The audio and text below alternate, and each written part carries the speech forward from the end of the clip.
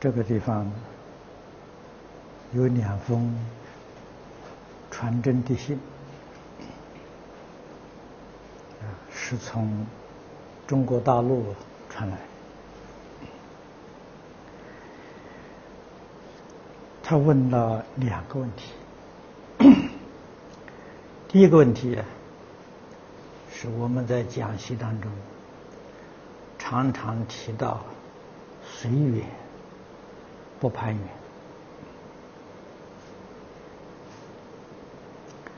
那么他怀疑，他在现在这个社会里，如果要这样做，恐怕难以生存。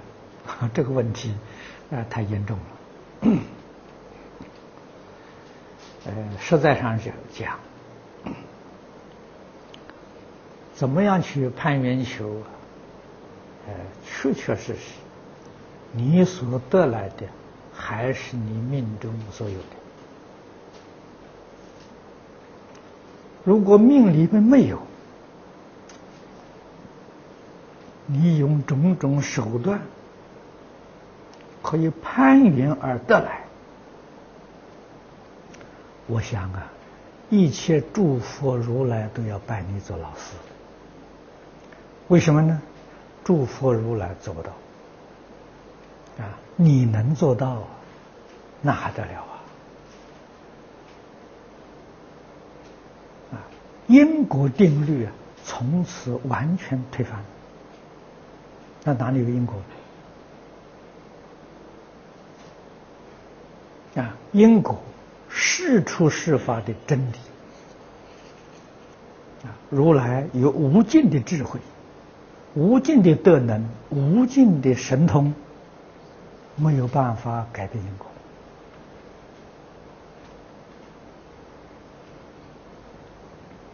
他要有能力改变因果，那么他的大慈大悲普度众生，何必要我们修行？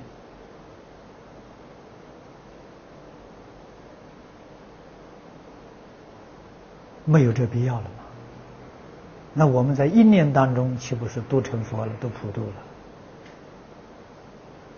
所以，诸佛如来帮助众生的，只是开导说明。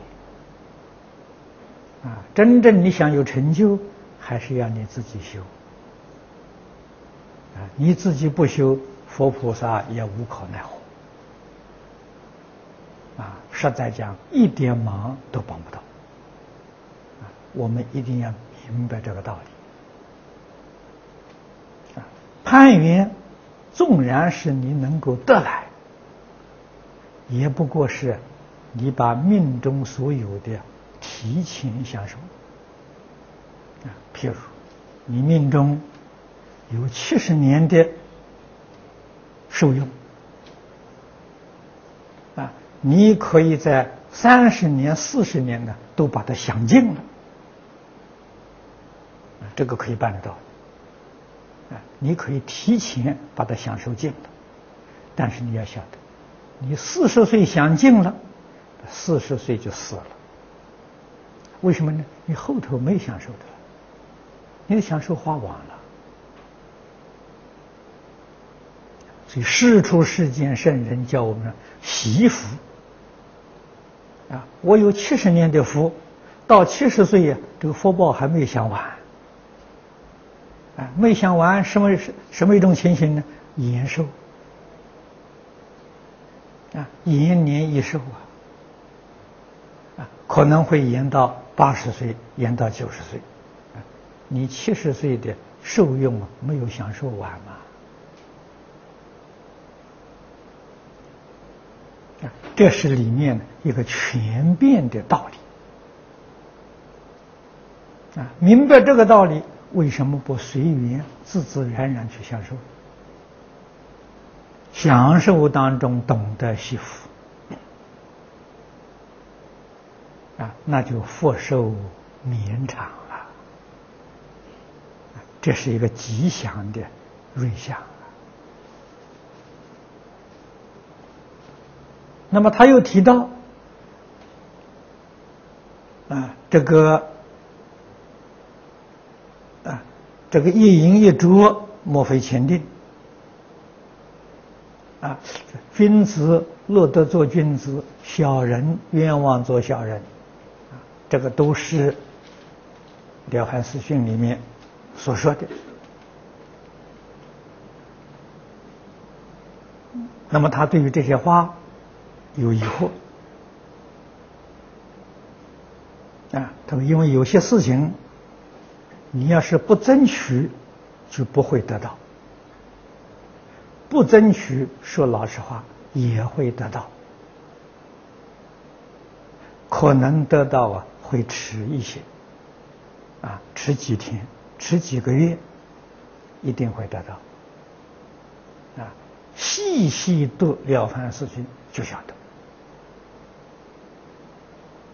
你每年收入的财富，一定的一点都不差了。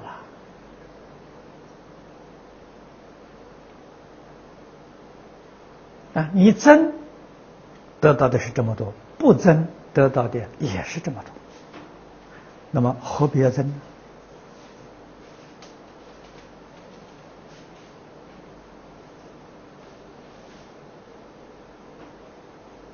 啊，那么这说到了随缘不攀缘，他举个例子，现在中国长江、松花江这么大的灾难，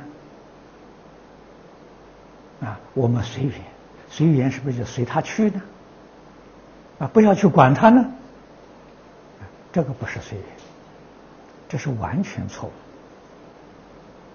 误。啊，随缘不攀缘呢，主要是对自己。啊对于一切众生，那得积极的去做啊。如果是你这个意思，那诸佛如来都随缘不攀缘，何必度众生呢？不要去度众生了吧，那随缘就好了吧，随他去嘛。那众生搞六道轮回与我有什么关系？啊，这个是把意思。完全解错了，所以《开经记》里面讲“愿解如来真实义”这一句话很不容易啊！世间多少人把佛的意思解错了，啊，错解了，曲解了。佛没有说错，是你解错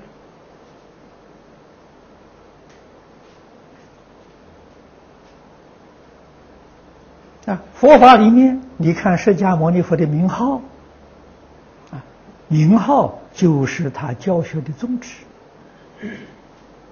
啊，释迦是仁慈的意思，能忍啊，这是对一切众生的，慈悲呀，大慈大悲呀。摩尼是清净的意思，极灭清净的意思，是对自己呀。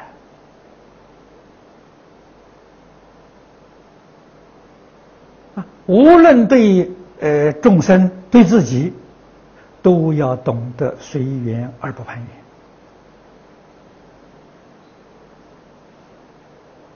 缘。啊，这个随缘对自己的意思，诸位比较上清楚，啊，能够体会；对众生呢，就很难体会了。啊，众生是随机度化了。他的机缘没有成熟，你不能够强迫他，这就叫随缘。啊，你强迫他接受，那是攀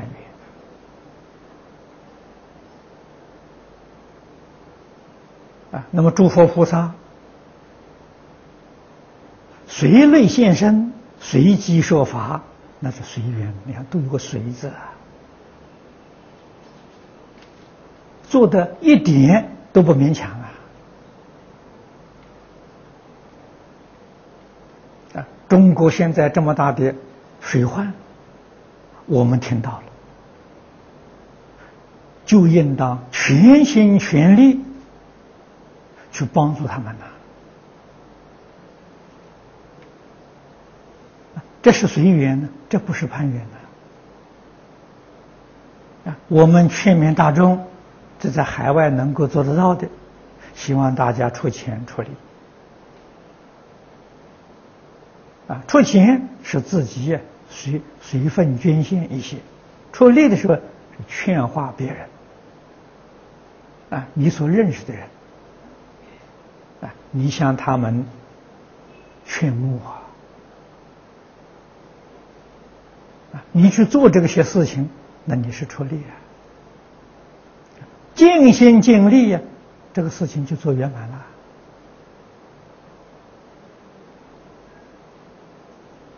此地金宗学会根据司令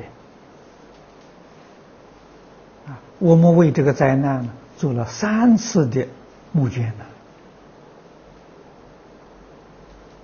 呢，募捐所得全部由中国驻新加坡大使馆转到国内教材。啊，我们把钱送到大使馆，啊，大使也接见我。啊，也向我们简报啊灾情的状况。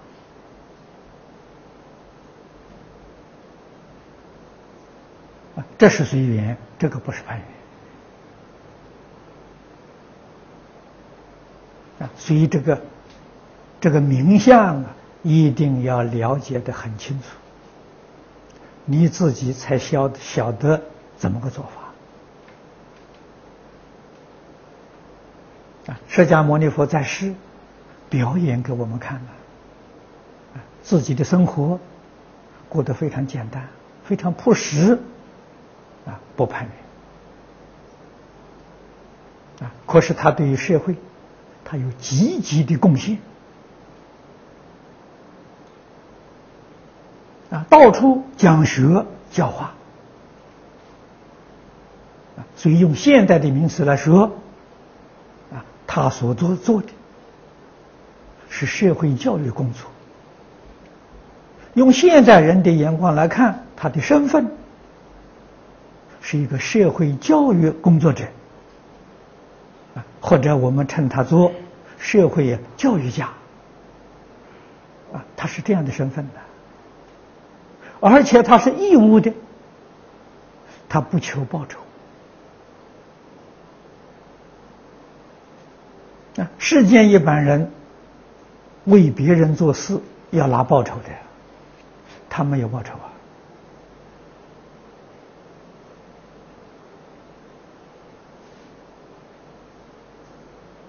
接受大众的供养也是很稀稀少啊，只限于四种啊，四四供养啊，啊，饮食每天出去托钵。他一天吃一餐，啊，衣服，衣服也不多，三衣，三衣一钵是他生活的方式啊。那么生病的时候，接受大家供养医药，啊，晚上睡觉呢有个简单的卧具，啊，那么就是这四种供养啊。这四种以外的都不接受啊！啊，这个是生活随缘，自己本身做到随缘，决定不攀缘。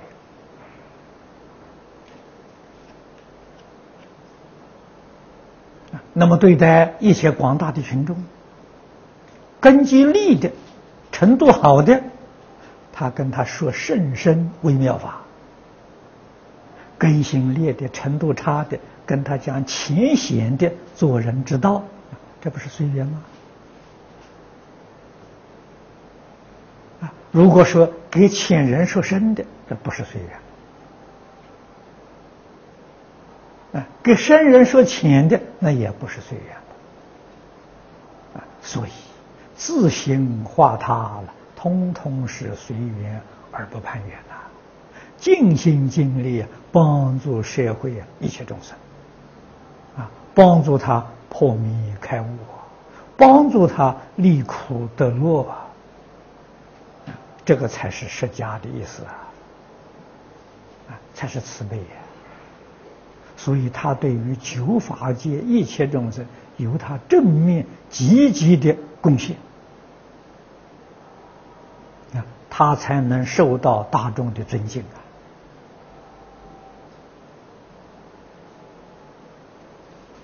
啊！啊，不是你想象的，这个随随缘是随他去了，不要管他了。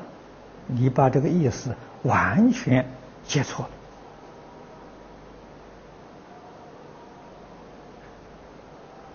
了。啊，那么这个事一定要搞清楚、搞明白。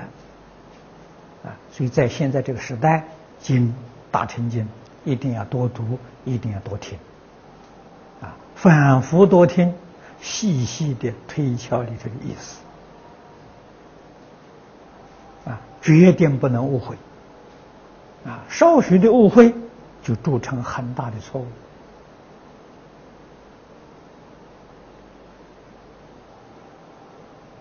啊，那么第二个问题，他问的是如何养成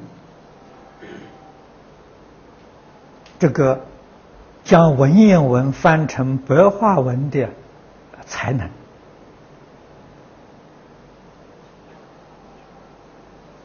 啊，这个发心很难得啊！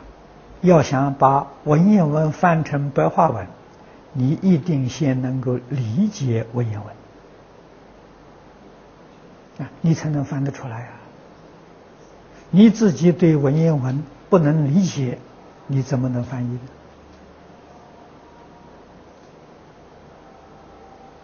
啊，先决的条件是你真正懂得文言文，懂得文言文的方法，再多读啊！啊，过去我们在台中求学，啊，李老师对于。文言文非常重视。啊，因为中国的这个经典最晚呢，大概都是北宋时代翻译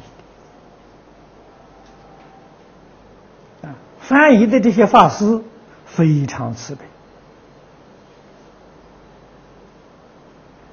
啊，将经文呢尽可能的白话。啊，所以佛经比中国的古文容易读，容易懂。啊，在中国文学里面叫它做变体文。啊，一换一句话说，就是当时的白话文。啊，便利于广泛的流通。啊，所以文字总是尽可能的浅显。即使是古时候这个浅显的文字，我们现在人读起来还有艰难啊！所以文言文一定要学啊！李老师对我们的教学方法是熟读五十篇文言文啊，你才有能力啊！读文言文，当时选的这个课本呢，是采取《古文观止》啊，《古文观止》有三百多篇。啊，选读其中的五十篇，最好能够背过。啊，这五十篇古文你都能背得下来。常常背诵，啊，逐渐培养有阅读文言文的能力。如果自己要想能够写文言文，那要加一倍的功夫，啊，你至少要能够背一百篇古文，啊，你才有能力呀写文言文。啊，文言文能读能写，白话文当然不成问题了。啊，所以这个这个能力的培养啊，在熟读古文。我们在海外，对于华侨子弟，啊，我常常劝勉呢，大家。念无量寿经，无量寿经下莲居老居士的汇集本，非常之好。啊，这个本子今生的文句不多，啊，有很少，啊，十之八九都很容易理解，很容易读诵，啊，而且它里面的篇幅。啊，有四十八篇啊，佛家称为四十八篇。那么李老师规定我们念五十篇古文，这四十八距离五十啊很接近啊，所以我在海外劝大家 将《无量寿经》当作过文来读啊，教小朋友，教这些学生们啊。念无量寿经啊，那么在海外，尤其在海外出生、在海外生长的这些小朋友啊，对于中国文化呢，那相当陌生啊。能够读无量寿经，第一个好处认识中国字啊，第二个好处不会忘记中国的语言啊，母语啊。第三个好处，啊，这个浅显的文言文殿下记住了。第四个好处啊，他逐渐学佛了，啊，所以这是一举四得，啊，比选读古文呢书生多多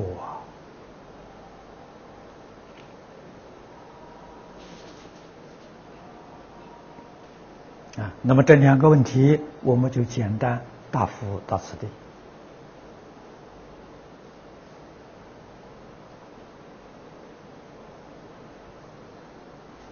啊！另外，我提醒同学们，特别是你们学讲经啊，学讲经怎么个学法呢？啊现在大家跟我的这个状况，正如同我过去跟李老师的情形一样。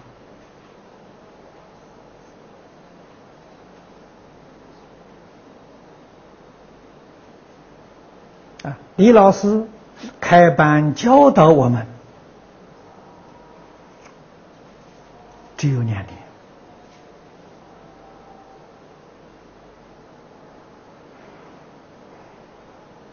啊，我最初到台中这个两年的期间，他是开班教学，啊，他也办了一个小型的培训班，有二十多个学生学讲经，啊，那么他们上课的是一个星期上一堂课，啊，一个星期一堂啊。所以两年上课的时间总集合起来，还没有我们现在培训班的时间长啊！我们培训班三个月，他那个两年时间加起来不到三个月啊！一年上四十堂课，两年八十堂课。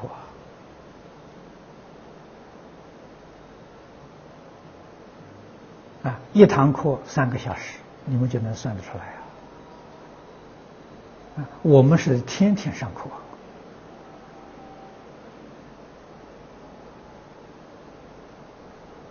啊。以后这个班停了，听，了，我们在台中亲近他老人家，就听讲经。听讲经，他一个星期讲一次。啊每一个星期三讲经，时间呢四十五分钟，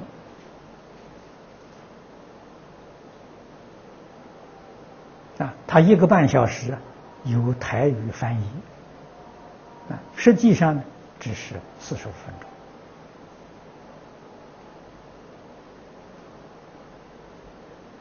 啊，一年大概奖金啊四十次啊，他当中年节要休假放假啊，一年五十几个星期呀，实际上能够讲经的四十个星期。那么换一句话说，四十个小时都不到啊。啊，不是像我们现在天天讲，每天讲两个小时，没有啊。啊，所以他那一部《华严经》，以他当时那种进度，我给他计算，一部《华严经》讲圆满要五十年。啊，他讲的快呀，没有我讲的这么详细。啊，他的《楞严经》讲过一遍，我那时候学楞严，跟他学习。啊，讲了三年，三年总共用了一百三十六个小时，啊，一部《楞严经》讲圆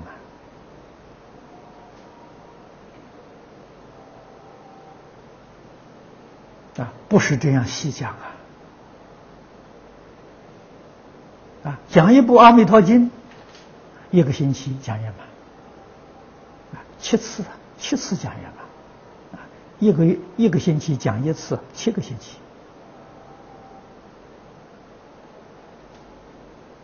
你算算时间多不多啊？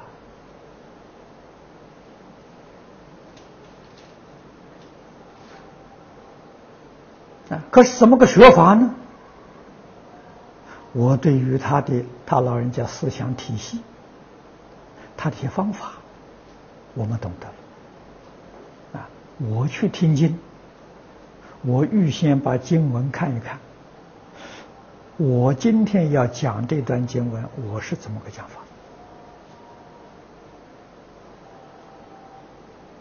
法？啊，然后我再仔细听他，他是怎么讲法？把他的讲法跟我的讲法做个比较，他的优点在哪里？我的缺点在哪里？这样学习呀，你才会有进步啊！不是一昧听他讲啊，那个没有用处啊。那我们学不到东西啊！我不听他讲，话的时候我怎么讲法啊？这个样子，天天比较，今年累月，我这样在台中住了十年了。啊，十年除了前面两年是上课，啊，内内典班里面上课，后面八年就是这种学法，所以我学的很踏实啊。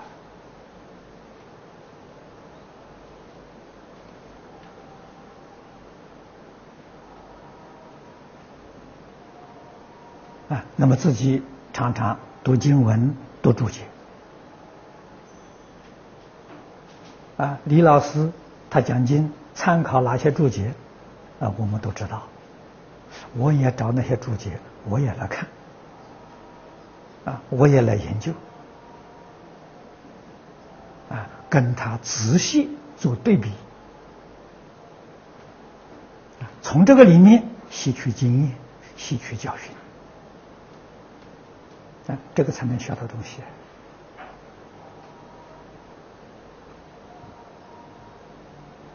如果一昧只是听他讲经，你就很难学到东西啊！所以我们同学很多啊，有一些同学住在台中的，跟他几十年，那么他们学的还不如我，原因在哪里？我有一套方法。啊，我很细心的在采学，这是他们没有的啊。所以你们大家要懂得的时候，啊，我们今天 讲这个华严，只参考清凉的苏超李长者的合论，我们采取的本子用这个《说论摘要》。那么这些书，你们大家手上都有，在听经之前看一遍，自己想一想怎么讲法，啊，很有受用，啊，尤其好处是对古经长，啊，如果能够经啊三五年的熏习，没有一个不成就的。啊，所以这方法非常重要。好，今天就讲到此地。